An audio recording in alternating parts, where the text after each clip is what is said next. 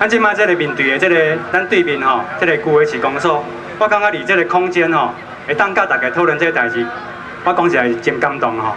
因为咱过去嘉义市真罕的有即个机会，会当用这种方式吼，咱市政府的长官、咱的民意代表吼，啊，咱的民众直接安尼伫即个开放空间讨论一个代志，我感觉这是一个上好的民主的即个精神。大家毋是讲。敢若啊，来来讲讲的咯准拄煞，而且是咱咱用一种对话的方式吼，把大家想法讲出来，有啥问题来讨论个清楚。甚至讲咱最希望的就是讲未来有机会，咱这个市公所会当开放、清理、开放，啊，互大家当去避。当去避的时阵会当去了解讲，这个建筑物内底到底有啥物款值得吼咱去学习的所在。嘉义咱逐遍拢拄到这个问题，咱逐遍拢面临这样的抉择，哦。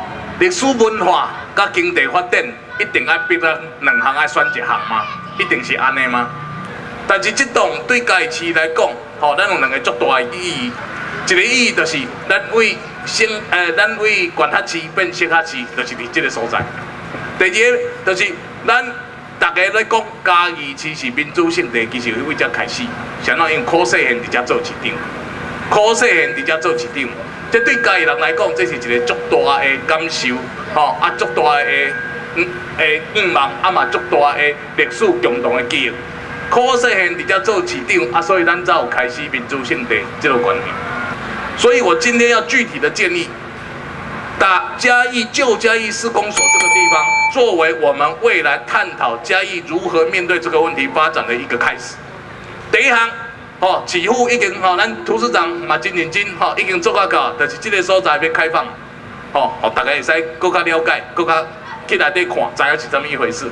啊，第二个，我具体在这里建议市府开始类似这样的座谈、公听一样一样的办，甚至找我们建筑界的、找其他的过去其他县市的他们的例子来给大家做参考，是不是非得拆掉不可，全部拆掉不可？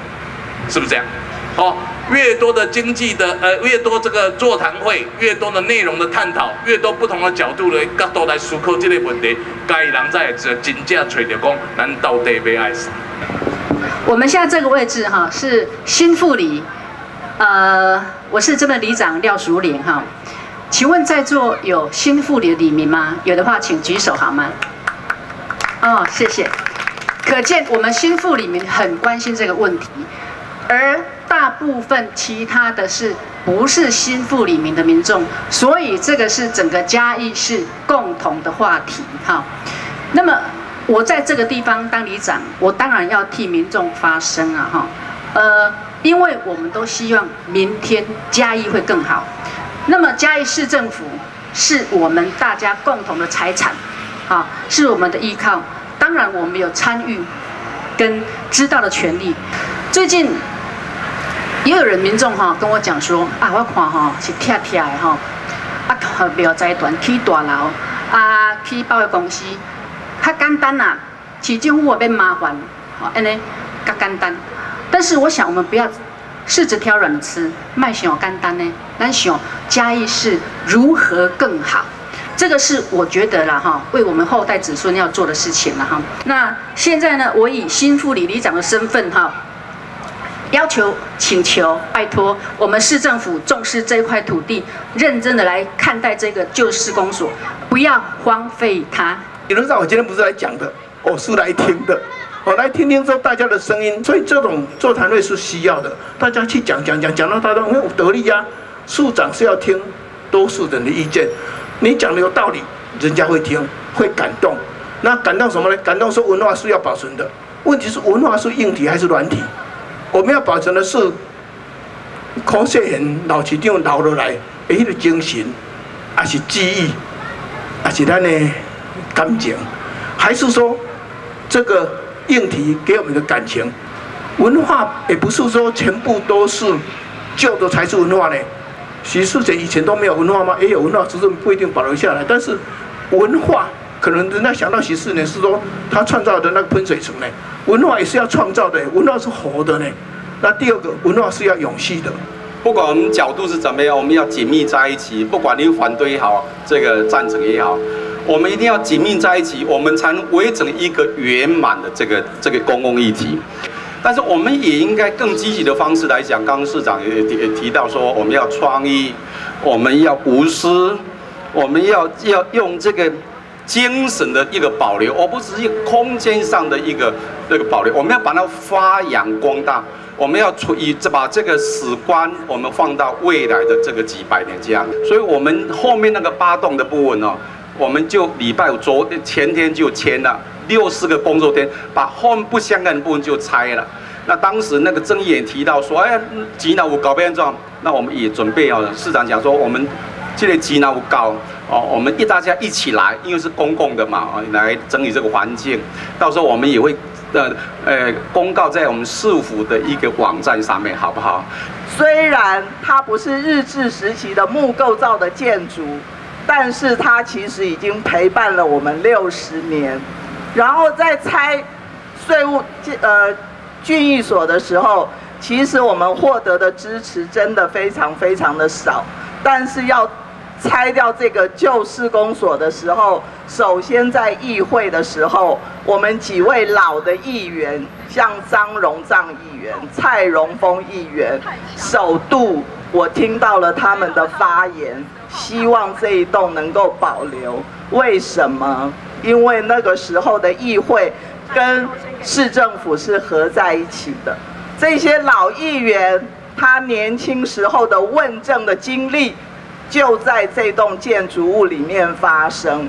那文化局在明年的时候，我们会办一个座谈会，我们会把全台湾好的活化再利用的案例跟大家介绍。那在那个座谈会的时候，我们也会开放更多更多的讨论，希望所有的市民能跟我们大家一起来思考所有的古迹跟历史建筑、历史文化。到底能够给我们带来什么？呃，关于这栋建筑物到底要拆还是不要拆，现在是一个过渡期。可是重要的是，我个人认为重要的是，这栋建筑物应该要打开门，让我们走进去看看里面到底有没有宝，有没有宝可以寻。这件事情对我来说，现在此时此刻非常重要。所以我在这边，呃，要呃呃邀请市长给我们一个承诺，就是这个地方。承诺一下，我们到底什么时候可以打开，让我们进去？我们可以动员志工来整理，好，那我们也可以进去之后看看它到底有没有宝物，还有我们可以怎么样活化它，那个想象空间才有办法打开。所以，请市长回答这个问题，谢谢。要进去看这个应该是可以，除非我们管文化的啊。出场的人说：“嗯，而且已经占定古迹了，你怎么可以进去？万一破坏怎么办？怎么讲讲讲讲这个这个部分，我要请我们文化局啊来回答。因为文化资产保护法它里面有相关的规定哈，指定古迹、暂定古迹哦，它有不同的维护方式，所以这个是不是请文化局协助一下哈，帮忙把那个详细的法规找出来？市长您指示我们方向就是要开放。”所以这个部分是没有问题的。虽然它被指定为暂定古迹，可是你其实只要不要去动它的古迹的本体，其他的环境的清洁的工作都是 OK 的。只是里面的话，我们就是会配合财政处的部分进去的话，可能就是环境的整理。那未来的话，因为它毕竟不是一个已经呃整修好的一栋建筑物，所以它可能有一些门窗的破损。但是这个部分的话，可能就没有办法去修补它。市长几月之前可以开放？我我没有办法知道，因为这个东西还要清洁，里面有没有啊？危险标可能要需要先暂时把它画起来，说这个地方不要参观了，怎么样？这个东西你可能要要要要画一下哈。这个就是公平参与，就是在这样的讨论。那我们我想知道，一我们到底有多缺钱？那我们钱要用在哪里？第二个。古迹能拆吗？它拆了还是古迹吗？那还有第三个，为什么刚刚市长说这里是蚊子馆，蚊子馆这么久？那我想回答这个问题，因为它锁起来了，而且我们都很有礼貌，我们知道它不能进去，不能进去，没有人用，但是蚊子馆。还有第四个，如果这是你的主产，主产能卖吗？那我希望说，呃，是否能够，呃，让我们这些很肯动脑筋的人，可以先告诉我们说，到底这个地方要怎么样才能够具体的依法的能够执行保留？那保留了，我非常赞成刚刚李李李立伟的说法，就是它是一个现代美术馆，美术它是不需要。它是需要很多人文文化的内在软体，就像刚刚局长说的，但是它不一定需要那些高楼建筑才能够帮忙完成，所以，呃，我也赞成这个地方是保留，然后恳请大家的支持跟帮忙，谢谢。所以希望市长可以听取一下财政处长的建议，不要消极保留，呃，积极一点。那 刚才几位长官看，就是都有大概说明一下，好像有一些。呃，资源好像不太够，然后有些管道卡住了，那很多程序要要走。但其实，在这个嘉义市的，我看过嘉义市的税出税入，文化教育的比例占超过总税出的三分之一。但是这样的法，这样的一个比例，其实有点难说服我说，哎，怎么呃要保留这一栋？为什么要好像很很少钱，然后又很少资源？这到底？是为什么？这就有点奇怪。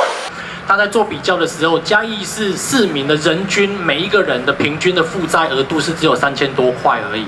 啊，其他包括高雄市啦吼，还是讲比其其他包括台北市、新北市，有的东西贵啊万块。可是我认为说，因为这个部分它比较的基础是不一样的啦。因为在比较上，我单单讲了哈，比如说我们嘉义市未来如果要做铁路高架化，铁路高架化的预算总共是两百七十五亿。地方自筹款中央爱高涨高引，接近一百亿。如果我们决定要做铁路高架化的时候，地方自筹款家己咱家己只爱总一百亿出来时阵，如果咱的开口，诶，市场若是双波光要走的时阵，我们的人均负债除以二十七万人，那马上咱就给三万几块这一步出来。所以到时候如果说要做铁路高架化的时候，我们的人均负债会从现在的三千多块，马上暴增到人均负债是三万多块。已经拜托前涉案建筑师。啊，所以呢，什么时候开始？下个礼拜就可以开始。那开始进去以后呢，呃，如果看起来都很好，或是把不好的地方围起来哈，说这个不能经过。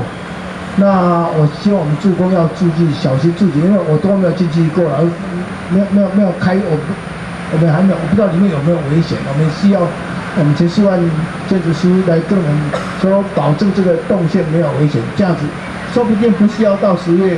十二月二十七号，说不定他们如果不需要装修太多，我们制作朋友说不定一个礼拜、两个礼拜就把它弄清洁、弄清洁也可能，我们就提早，大家进去里面看看哈。那我觉得就像刚刚。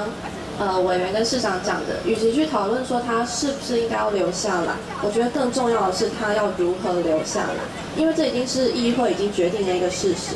所以如果我们想要留下来，我们就必须去提出一个方案，去说服议会说它有什么价值留下来。那这边我就是个人有一点点小小的建议，希望可以让你们做参考。那第一点是，我觉得，呃，公有土地应该是作为都整都市整体开发的一个推动的领头羊。所以说，如果这这块在市中心的土地可以保留下来的话，应该是对嘉义市的整体观光开发都有很大的影响。那我觉得嘉义市目前比较可惜的地方，就是说有一些观光景点，但都是点，都是各个点，并没有一条线把这些点全部串联起来。